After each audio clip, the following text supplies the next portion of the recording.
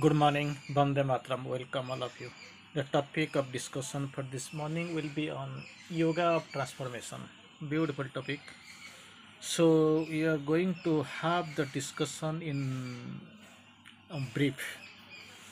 So this is the topic yoga of transformation. Uh, Sri Aurobindo course initially, it is not a hope but a certitude. It is not a hope but a certitude that the, com- the complete transformation of the nature will take place. That is what. Complete transformation of the nature will take place. It is not a hope but a certitude. So this uh, certitude we know uh, we are moving uh, after transformation and moreover this integral yoga the sadhakas who are pursuing this yoga they know it is also known as the yoga of transformation so here we are going to have uh, what about the transformation? What are the things they are going to mm, uh, change? And how it will change? That's what we want to focus upon here in this discussion. So very interesting. Yoga of transformation. Uh, Sri Aurobindo quotes uh, beautifully by yoga. Yoga means union with the divine but actually mm, here till this uh, point of time we don't know um, what really the divine is meant and who what is divine. Anyway mm, that uh, union it needs a union biggest union and uh, absolute union perfect union with the divine. That is what uh, who is the all who is the highest this highest this uh, widest this all this everything it these are all relative terms because we analyze everything in our mental conventional mental concept. Original things we don't know really what really they are meant. What are the real meaning of these sentences? Anyway by yoga we can rise uh, out of falsehood into truth. Out of falsehood into truth out of weakness into force. That is the second thing so first we can know with if we are pursuing the yoga, first we must know out of the falsehood we must rise up to um, truth. Then out of the weakness into force, out of pain and grief into the bliss. That is the third con- concept. Pain and grief. From that you want to uh, rise up to bliss, and out of the mm, bondage into freedom. That is the fourth one.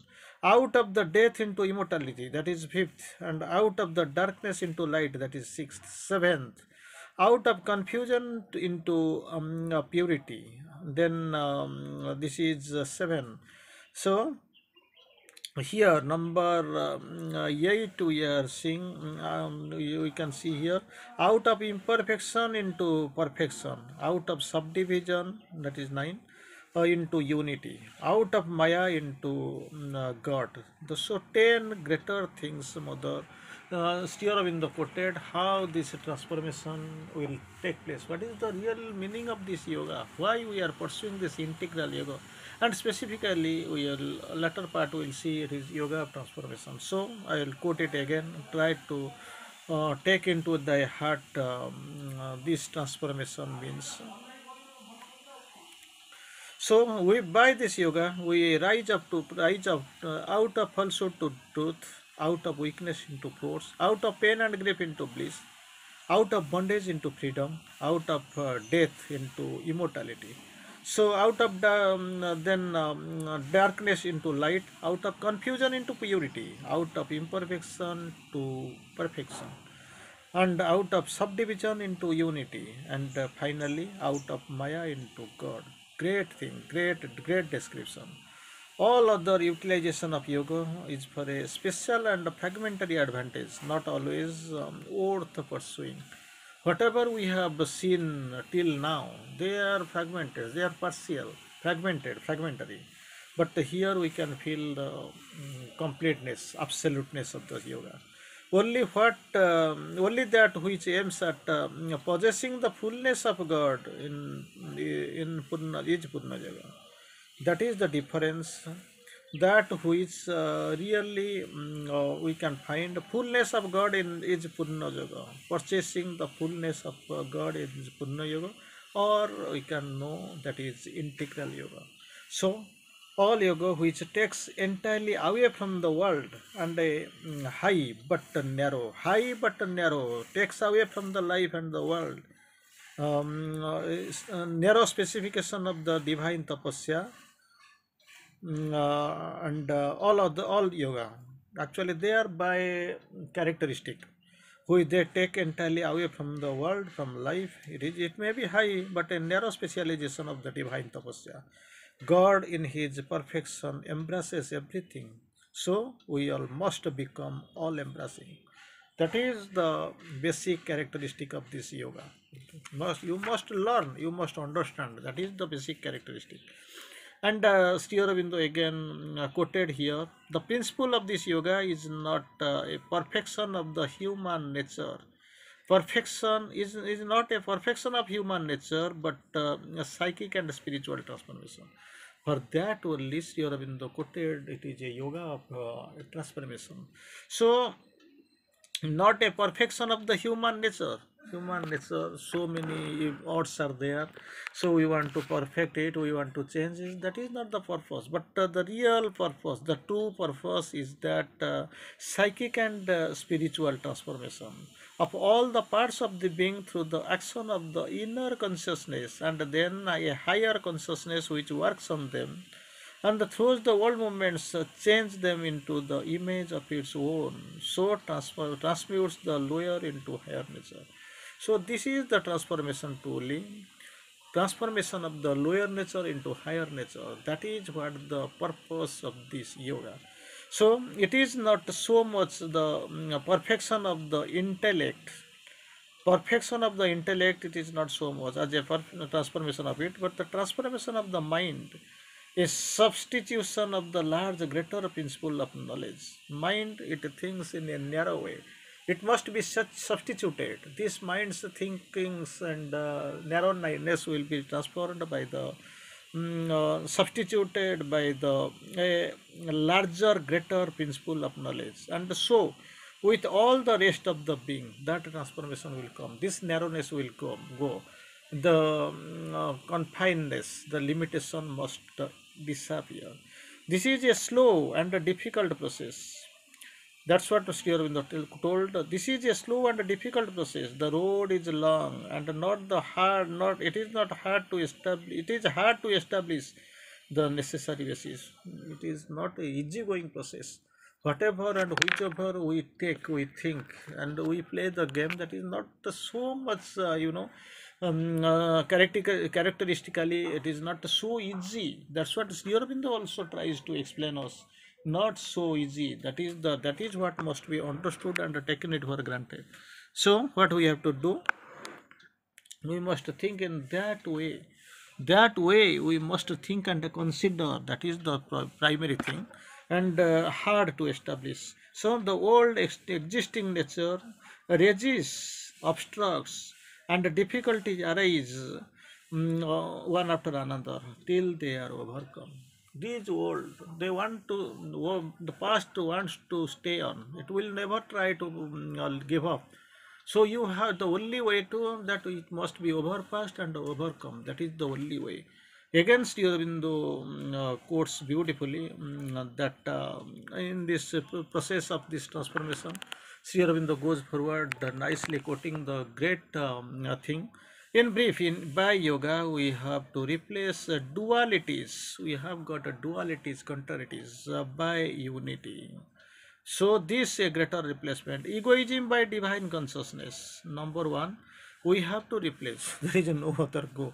It is there because uh, already we have seen if you wish to install there the living presence keep the temple clean. So you want a cup of uh, milk for that actually this water must be replaced removed, thrown out. The cup must be dried up. It must be emptied. That is what the requirement. So we must repeal, uh, you replace dualities by unity. That is the first step. Dualities must be replaced by the uh, unity. Egoism must be replaced by divine consciousness. This egoism, wherever you see, whomever you find, egoism is hidden everywhere uh, so far this transformation is, transformation is not being held. As long as it is not overcome it is there. So this egoism must be replaced by divine consciousness ignorance by divine wisdom. I have got ignorance. I feel it is better.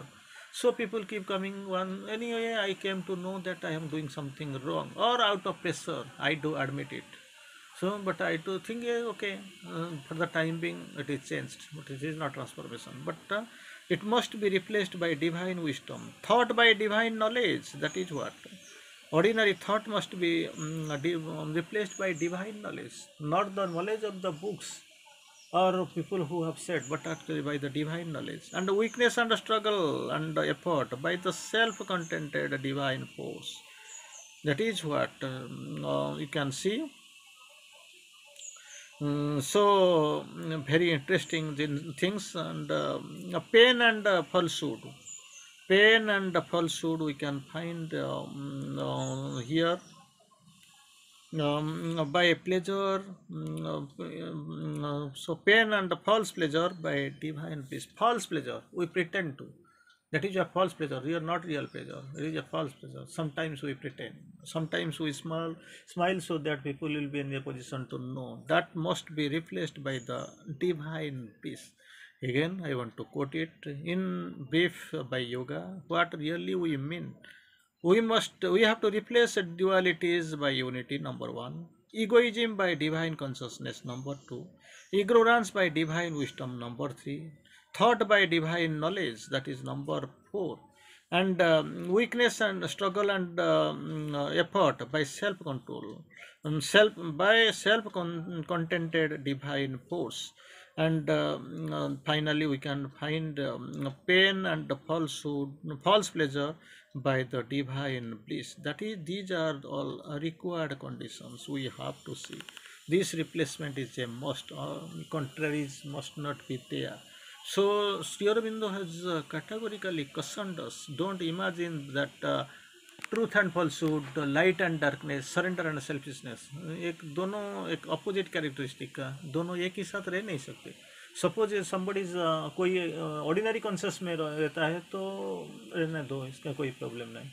एक बार एक अगर आपको आपका life consecrated divine भगवान के लिए समर्पित हो गया तो इसके सोच लेना चाहिए।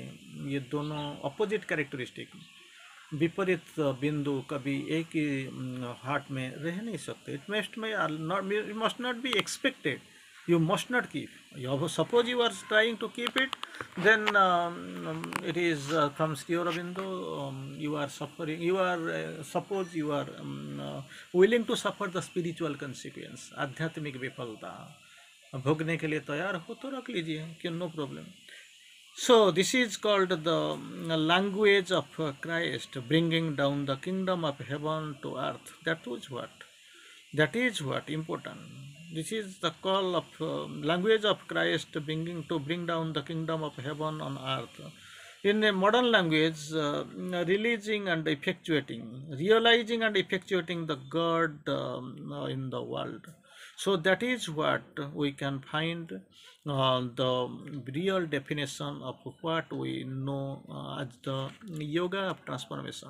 Sri Aurobindo moves little forward. Uh, Sri Aurobindo quoted, um, I have objected to the past, mm, uh, to vairagya of the ascetic kind, vairagya of the ascetic kind and kind I have objected and the tamasic kind. Of vairagya of uh, one is ascetic kind second one is tamasic kind that I have objected. I have ob- I object to it um, for those who come to the yoga because it is incompatible with my aim not compatible with my aim for which I have pursued I have um, um, um, established this integral yoga, which is which is to bring the divine into life, not vairagya. You are not going to run away from life.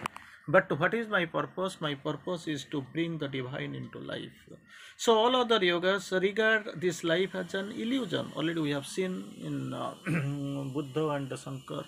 Um, uh, we have seen there or uh, passing uh, phase. Um, but um, the supramental yoga alone regards it is a thing created by the divine for the progressive manifestation of the and takes the fulfillment of life and the body for its object. So there itself it is not a thing of Maya, but the problem is that you have to consider better that it is the fulfillment of life and the body for the object through the process of supramentalization. Sri Aurobindo quotes, the course. The transformation of the body must be the condition for the total transformation of the nature. So, body physical transformation is a must. And finally, Sri Aurobindo tries to quote, uh, tell us that transformation can only be done by a force infinitely greater than the man's force. Infinitely greater than the man's force. That is the requirement. Requirement. Requirement. Thank you.